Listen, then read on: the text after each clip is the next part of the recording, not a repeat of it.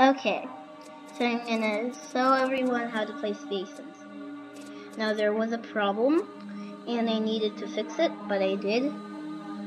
So I'm going to restart, and I'll show everybody what to do. So we are gonna head towards the sun. And that is the sun. I just was at a faraway star and I needed to go here because something wasn't working.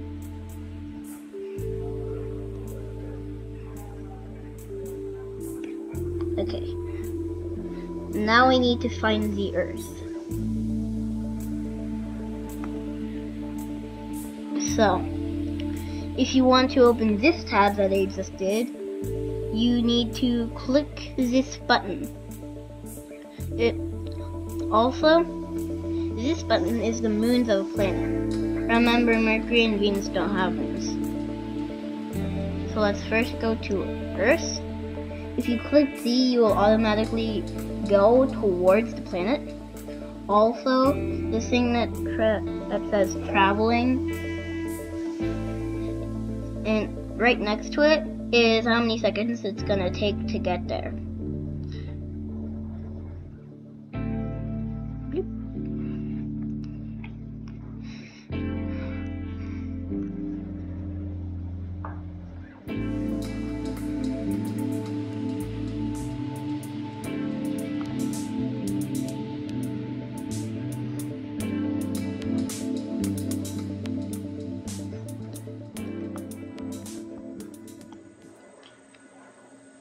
To drag you right click you right click and you drag on the mouse. Also if you are playing on a PC laptop then you need to take the the um bottom right hand corner of the mouse pad and drag it in the direction you want to drag or turn.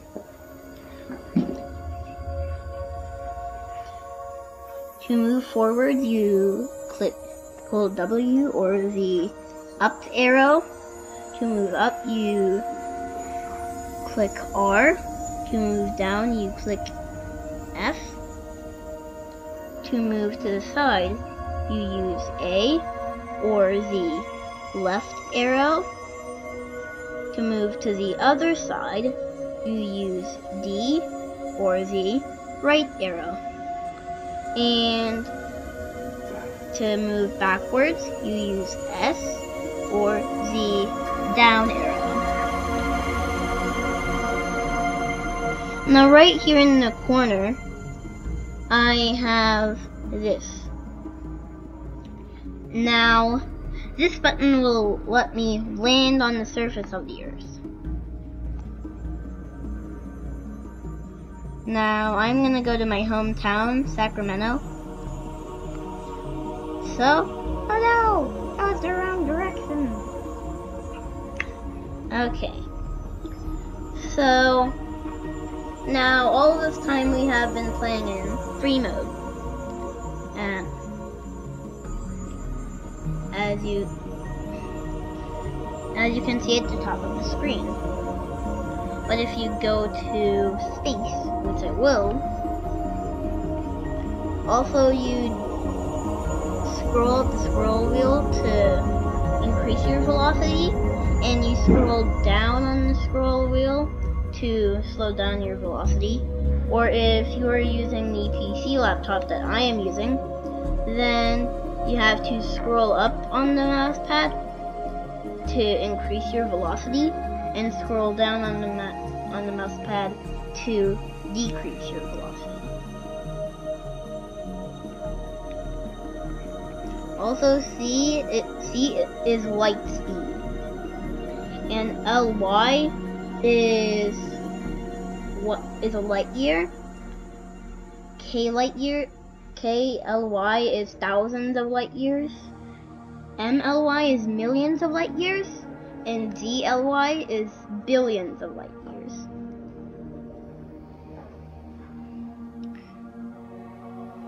Now, um, okay, I can't find it. Now, there are some objects that have been generated and they might not be real. And those objects are called procedural objects. You can see if an object is a procedural object if um by opening the Wi-Fi and right here it will say if something is a real object or a procedurally generated object. Now there is also orbit about the general, physical, atmospheric, and hydrospheric, hydrospheric and orbital things.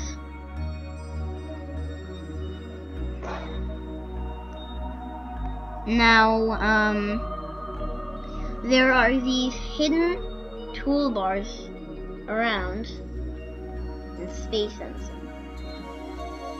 The first one is the navigation and time toolbar.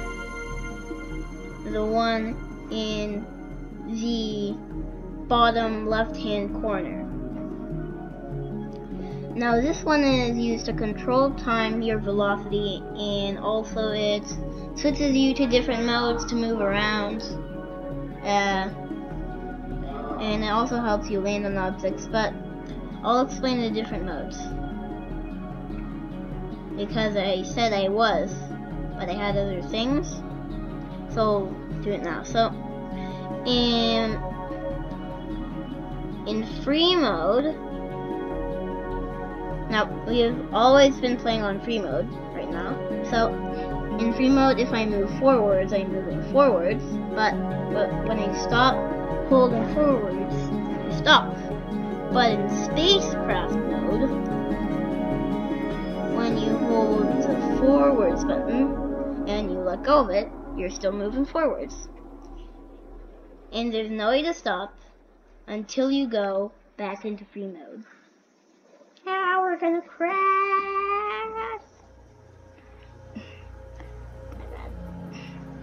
That was eight times the speed of light.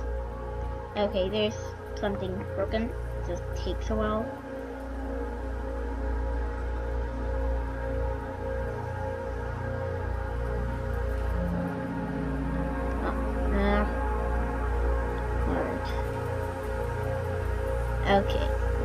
You can see that when they turn up, I keep moving up until I switch back to free mode. Also, um, there is an easy way to switch between free mode and spacecraft mode. So if you click 1, you're basically back into free mode, but if you click 2, you're now in spacecraft mode. And there's one more mode I want to show you, and it's aircraft now let's move into space again. So aircraft mode is basically the same as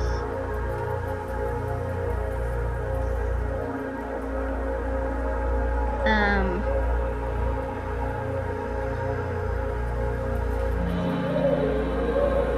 what just happened?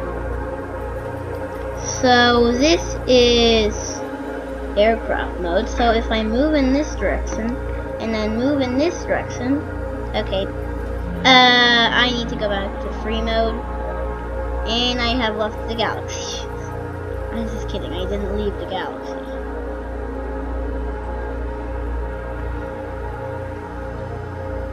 Bloop. Bloop. Bloop. Bloop. Bloop. Bloop. Bloop. Okay. Um, so that was a mistake.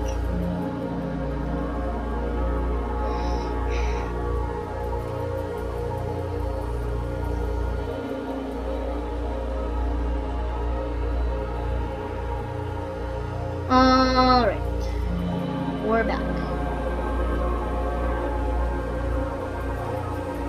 So, in air in aircraft mode, it's basically the same as spacecraft mode.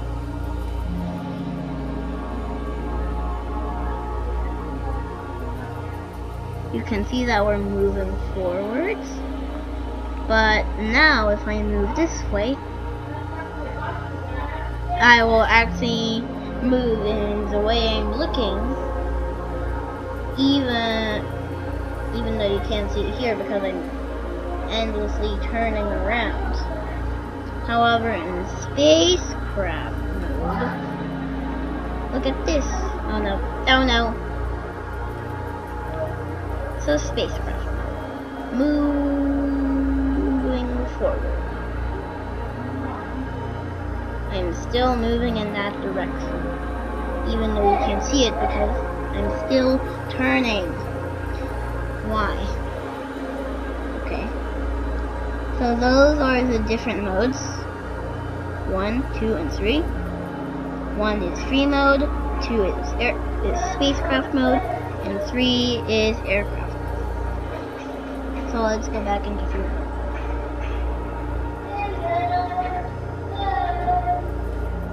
Oh, also you can use the Q key to turn to the right or turn counterclockwise and you use the E key to turn clockwise.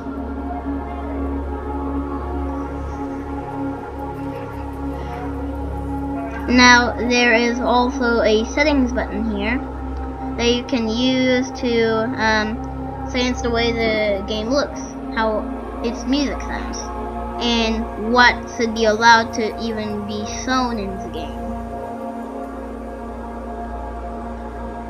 So, if you want to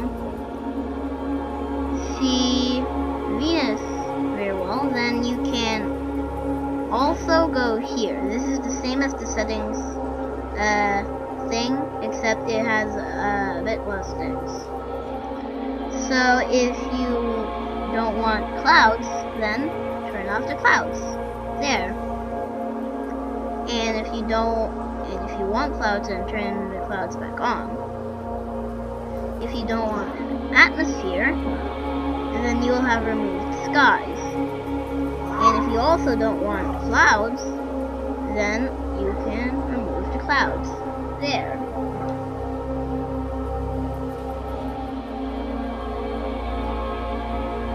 So now you can see everything pretty clearly.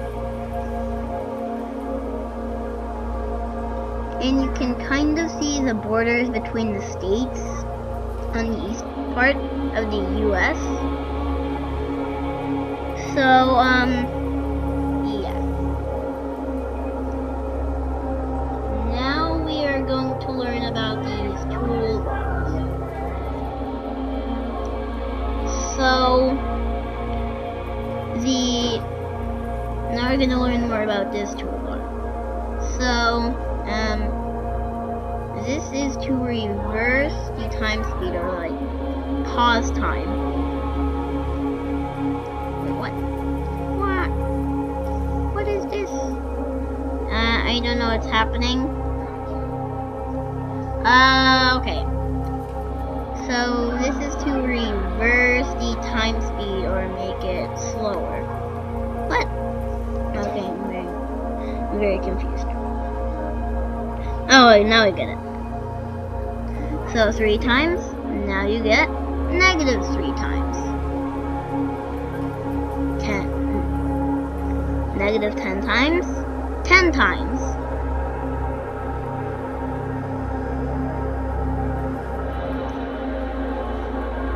Okay. So, now we're gonna start going to other objects. So, if you want to, this is for searching things or for finding objects in, objects in space.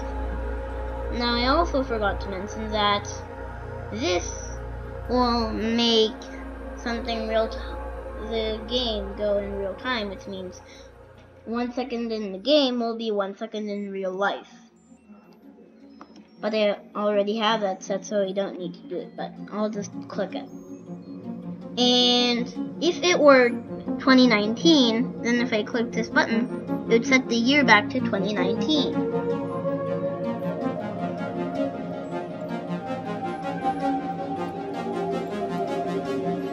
But it's obviously 2020.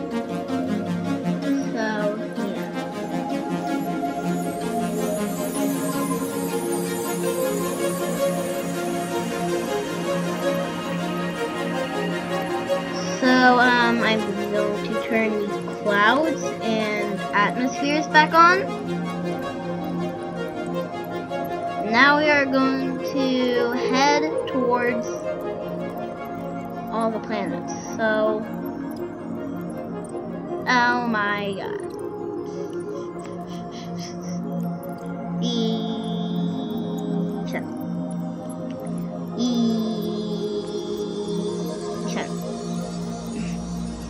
Okay.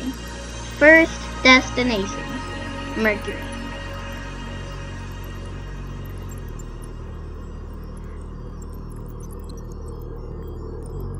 Now, there is an easy way to land on the surface if I didn't say how to do it. Like, I don't know if I said how to do it, but. So, um. Basically, if you want to land easily on the planet, then you can click this button here, and it will land you on wherever you are facing towards the planet.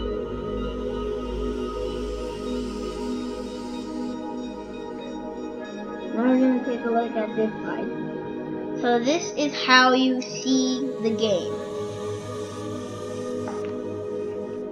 So if you were to take off take off everything, then you would not see anything in the entire game. But we don't want that. So we're gonna just not delete everything. And um, to take off this in the corner that tells you also information about something is you basically need to hold control and tilde and it goes bye bye. And to put it back on you do control and tilde. Now we're gonna move on to this. This right here tells you where the object you have selected is. It's a very useful tool. Get rid of it, you click this button. Oh, put that on. Okay. So now we're gonna take a look at the universe map. So you can open the universe map by using this button that my arrow is over, or you can click M. And that is the universe map. So that is Mercury. And you can keep zooming out.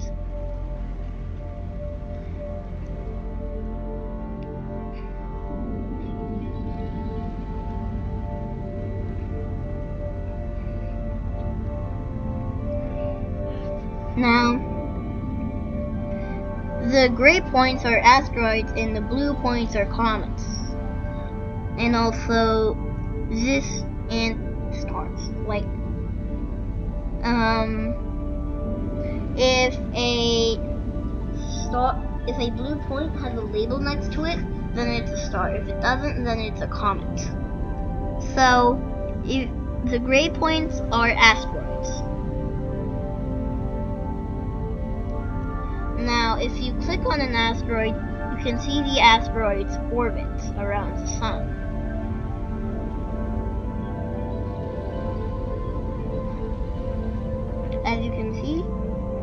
7-8 Diana, Diana was discovered in 1863 by direct imaging it. um, yeah.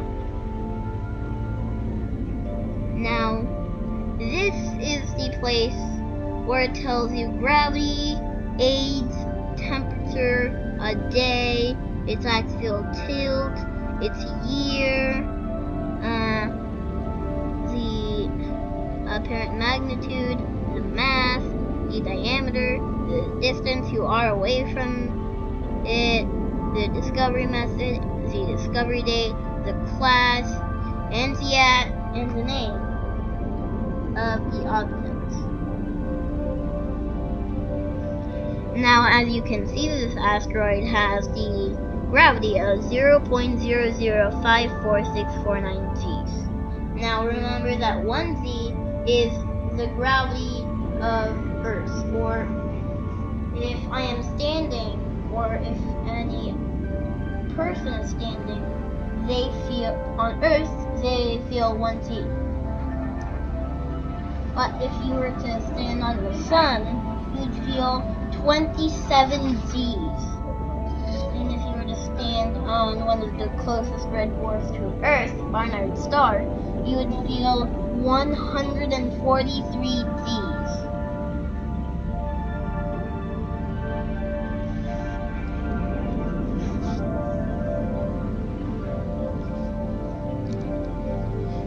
Okay, so the next thing we are going to see is the solar system chart. And this will represent everything in the solar system. Now, you can so size, and as you can see, Uranus and Neptune switched. You can show density, and you see that Saturn is pretty much at the end, and you can show temperature. So I wondered, what is the coldest object in the solar system? I am guessing it is Sedna because Sedna is really far out and it takes 10,000 years to orbit the sun. Okay. I'm going to go towards Sedna.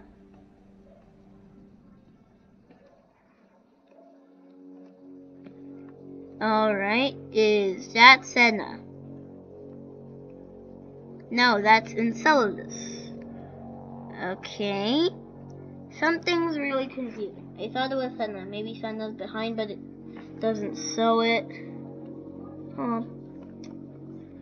Okay, so I guess Enceladus is the coldest object in the solar system. So we can take this off.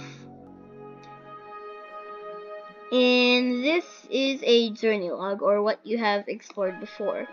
Now, as you can see, I have explored a lot of things before. But if you have just started this game, then your journey log won't be this filled up. Now, as you play the game more and more, your journey log will fill up more and more. Now, you can also rename objects but um,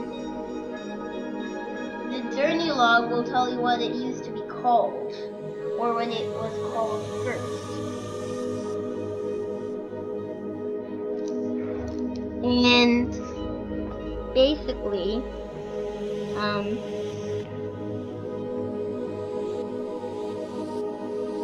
yeah, so um, you can also build space Oh, this is the spacecraft numbers are alright. Go to? Oh. Traveling towards something.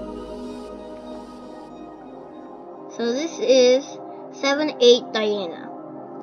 The asteroids that we were observing earlier. And it is 4.57 billion years old. Uh, the game just puts it in scientific notation. So, um, this is the diameter of an object. So it's two times the radius. So as you can see, now the diameter is how wide an object is. So The diameter of asteroid Diana or 78 Diana is 117 kilometers. So if it were to strike Earth, it would probably wipe out all of humanity. Now, right here are some pictures picture, you go here, and if you want to add the location, or you just want to add what you are looking at, then you click this location, and you can name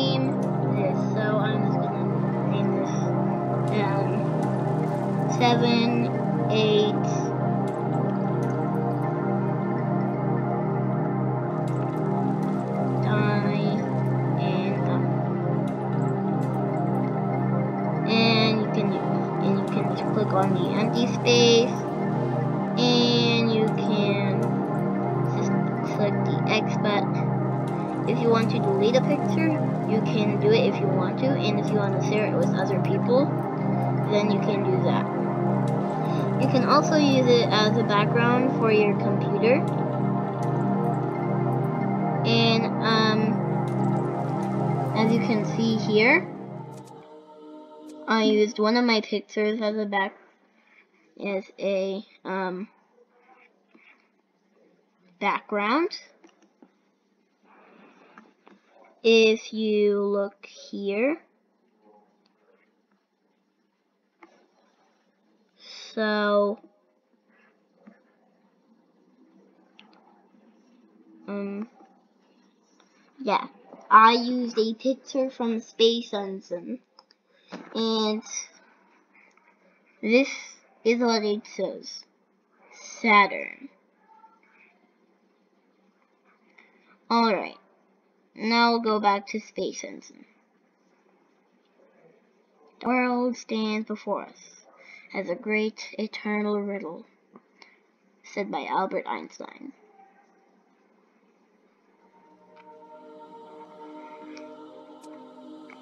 Now, we are going to continue through the galaxy because we are going to take a trip out